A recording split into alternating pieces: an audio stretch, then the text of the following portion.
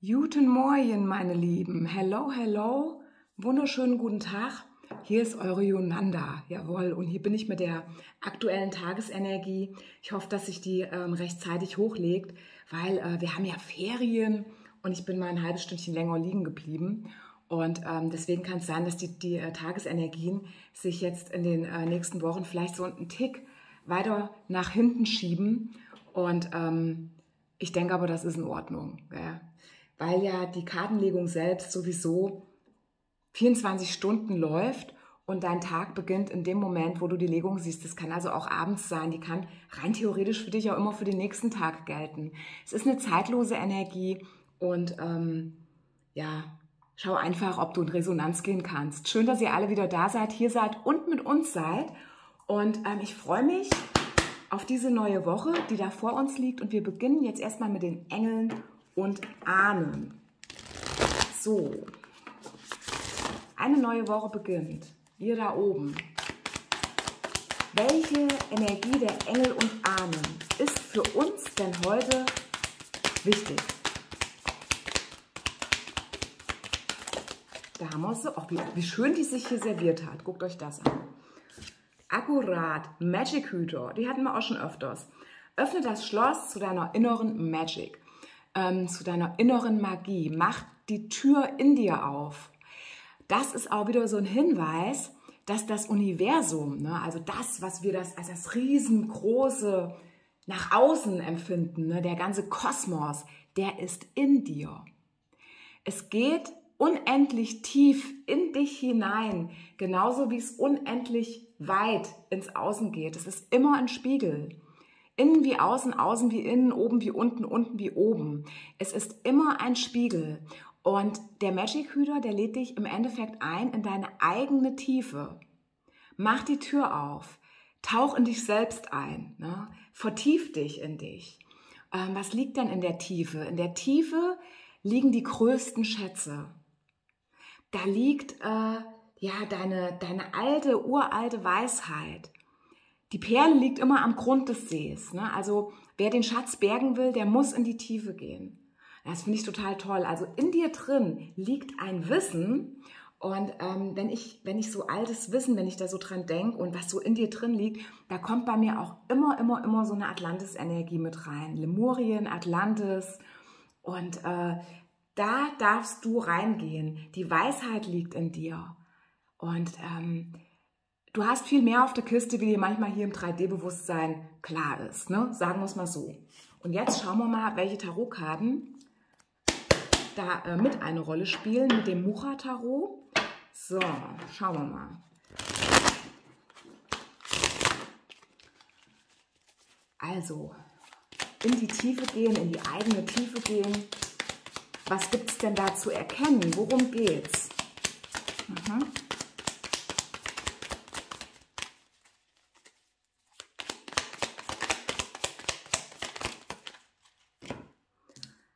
Mische die noch mal durch. Ich habe das Gefühl, ich muss die noch mal So, schauen wir mal. Aha, also, wir haben die Sechs der Schwerter. Das ist ja schon mal ähm, die Bewegung in eine neue Richtung, an ein neues Ufer. Könnte bedeuten, dass du dich derzeit in einem Prozess befindest. Und die Antwort auf viele deiner Fragen, die liegt in dir. Und es geht hier um Vertrauen. Es geht nämlich darum, dass du vertrauensvoll dich hier fahren lässt über eine ruhige See hin zu einem neuen Ufer. Du weißt vielleicht noch nicht, was dich dort erwartet. Vielleicht weißt du es aber auch doch, wenn du dich in dich vertiefst. Du weißt vielleicht heute oder es kann sein, dass dir heute die Erkenntnis kommt, dass eine Entscheidung, die du getroffen hast, genau die richtige ist. Es kann sein, dass es dir vielleicht schwer fällt, hier aufzubrechen. Und die Karte Sechs der Schwerter, die fordert dich aber auch auf, nach vorne zu schauen und dich tragen zu lassen. Das Wasser trägt dich, deine Gefühle tragen dich. Und wir haben auch hier mit den geerdeten, äh, oder sagen wir es mal so, mit den gewässerten Schwertern die Vereinigung von Verstand und Gefühl. Es ist gut, wenn du dich heute loslöst und auf das vertraust, was kommt und was vor dir liegt. Und wenn du dich nicht umdrehst.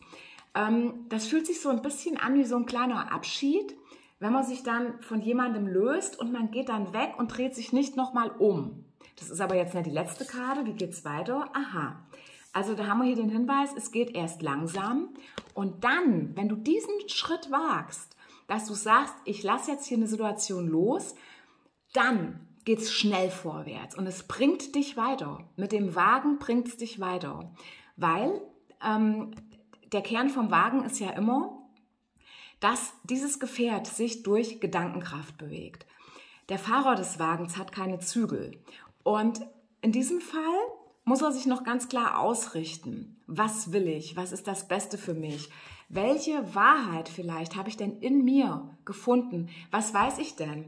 Tief in meinem Innersten, was weiß ich denn da? Und sobald er weiß, wo er hin will, werden die beiden Damen hier, ne, also sehr erotische weibliche Energie, also es sind ja meistens als Sphinx dargestellt, dann werden die sich in Bewegung setzen. Und zwar ohne, dass der die antreibt oder die Zügel in die Hand nimmt, sondern einfach nur durch sein, ich weiß jetzt, was ich will.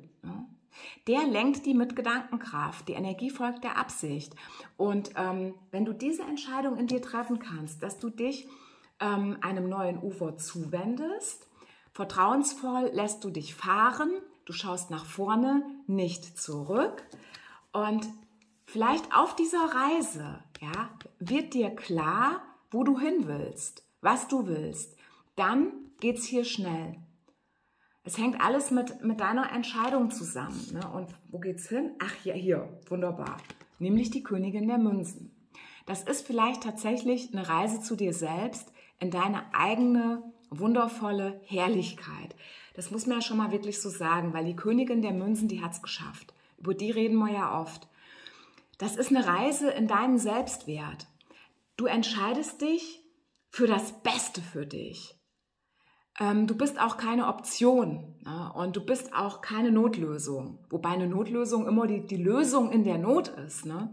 Das ist schon klar. Eine Notlösung zu sein, das kann auch eine große Ehre sein, weil du bist vielleicht ein Mensch, auf dem man sich wirklich im Notfall, im Falle des Falles stützen kann, weil du ganz einfach die Kraft hast. Du hast es geschafft. Als Münzkönigin bist du in der Lage, dein Königreich zu bestellen. Du bist das Wasser der Erde. Du weißt, wie man den Boden bestellt. Du weißt genau, wie man eine Ernte einfährt. Und auf dich kann man sich verlassen. Dir kann man vertrauen. Du bist absolut vertrauenswürdig. Und du bist halt, naja, sagen muss mal so ein Vollweib. Im Übrigen auch, wenn du ein Mann bist. Ne? nee, Moment, die männliche Variante, da, da, ähm, da deute ich mal noch was. Da kommt mir gerade noch eine Energie rein. Also das äh, jetzt erstmal auf uns Frauen äh, geschaut. Ich muss wieder die Frage in den Raum werfen, ist hier Weibsvolk anwesend? Zwinger, Zwinger, Brian ist unter uns. Ähm, auf uns Frauen geschaut. Erinnerst du dich an deinen Wert? Und ähm, du tust etwas, was du vielleicht vor kurzem noch nicht getan hättest. Du machst das Tor an dein Innerstes auf. Du erinnerst dich an deinen unglaublich hohen Wert. Und du löst dich aus einer Situation, weil du ganz einfach in diesem Moment dir selbst am nächsten bist, weil du eben deinen Wert kennst. Und das ist für dich nicht leicht. Du darfst hier auch loslassen. Du darfst dich hier vertrauensvoll fahren lassen, auf ein neues Ufer schauen, auf das, was vor dir liegt. Das ist auch das Vertrauen in deinen Weg. Und wenn du in dir drin die Wahrheit gefunden hast und weißt, was du willst und dich vielleicht an deinen Wert erinnerst, geht's hier rasant für dich vorwärts ne, dann wirst du in eine, in eine absolute Freiheit kommen. Dann geht es vorwärts in deiner Situation. So, jetzt für, für, für Männer gedeutet. Ne? Für Männer gedeutet, die ähm, vielleicht tatsächlich auf eine Frau schauen oder auf einen anderen Mann. Ne? Ihr wisst, die, die Geschlechterrollen verteilt ihr euch. Da geht es darum, ein Ufer zu verlassen, an dem man sich vielleicht eine gewisse Zeit oder auch lange sicher gefühlt hat aber nicht ohne Grund verlässt man dieses Ufer und macht sich auf den Weg auf die andere Seite. Auch hier gilt es, etwas zurückzulassen, ja, was für dich vielleicht auch sich nach Entbehren anfühlt. Das kann auch ähm, eine Vision sein oder eine Hoffnung, die du gehabt hast. Oder ähm, äh, du hast vielleicht äh, ein Ziel gehabt, was du leider nicht erreichen konntest. Je nachdem, welche Situation es für dich ist, ein Versuch, den du gestartet hast und, und, und. Es gilt jetzt hier loszulassen und sich tragen zu lassen. Und es wird hier eine Kraft geben, die Fahrt aufnimmt, wenn du erstmal losgefahren bist und auf deiner Reise zu einer Erkenntnis kommst, was du wirklich willst. Und dann erwartet dich auf der anderen Seite, auf dem anderen Ufer, jemand, der für dich wichtig ist. Jemand, eine möglicherweise weibliche Energie oder eben für die, die gleichgeschlechtlich schauen, eine männliche Energie in ihrer Weiblichkeit, weil die Königin der Münzen ist halt nun mal ein Vollweib. Ne? Also es erwartet dich eine weibliche Energie, die, auf die du dich verlassen kannst. Und heute ist einfach ein guter Tag zu starten. Die Frau auf der anderen Seite, die ist in ihrer Kraft, die ist in ihrer Fülle. Die hat es ganz einfach geschafft. Und die ernährt sich selbst. Und weil sie sich selbst ernährt, kann sie auch andere nähren. Vielleicht zieht es dich hier zu einer solchen Frau hin. Man macht sich so auf den Weg. Ne? Also äh, man macht sich auf den Weg. Das sind jetzt so Impulse ne? und in dir drin liegt vielleicht auch dieses Drängen oder die Antwort, die du gesucht hast. Oder der Impuls macht dich auf den Weg, macht dich auf die Socken. Ne? Jetzt schauen wir noch weiter. Ich hoffe, dass ich da jetzt äh, für viele schon mal was reingeben konnte. Und jetzt schauen wir noch, was die, was die Lenny-Karten sagen. Ne?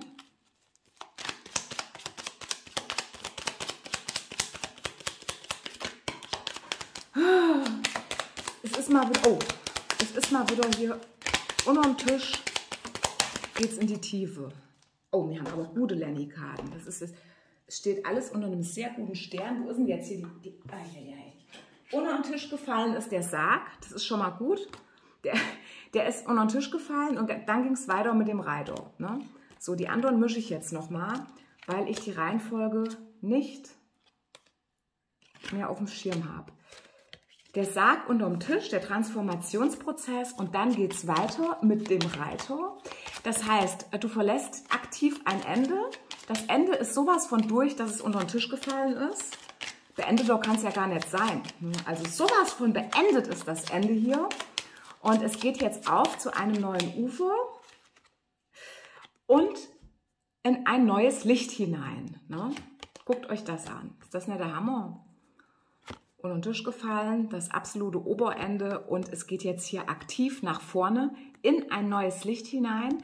Du kommst hier in eine völlig neue Kraft und Lebensenergie. Das ist dann auch so der Moment, die Sechs der Schwerter, das ist so der Moment, wo das Ende verlassen wird. Ja, dann geht es vorwärts mit dem Reiter. Du kommst hier in eine völlig neue Lebensenergie. Ähm, es geht langsam los. Dann nimmst du Fahrt auf, weil du auf deiner Reise erkennst, wo du hin willst. Das gibt dir Kraft, daraus schöpfst du Kraft. Kraft und Klarheit, ne? So. Ja, das ist wieder, hier kommt die Sonne, ne? Sie ist der hellste Stern von allen und wird nicht vom Himmel fallen. Du kriegst hier auch Klarheit über deine Gefühle. Diese Reise klärt deine Gefühle. Also lass dich auf diese Reise ein und die Reise geht in deine Heilung mit dem Baum, ja? Also du verlässt hier das Ende, ein absolutes ähm, äh, Nirvana, ja, also eine, eine verbrannte Erde wird verlassen. Du machst dich auf, ne Moment, du machst dich, wo ist es denn jetzt? Du machst dich auf, das ist jetzt die Zusammenfassung. Du machst dich auf, lässt dich von den sechs der Schwertern tragen und dann geht es auf einmal schnell, dann kommt ein Anschub, weil du auf dieser Reise in dir drin die Antwort findest, wo du hin willst.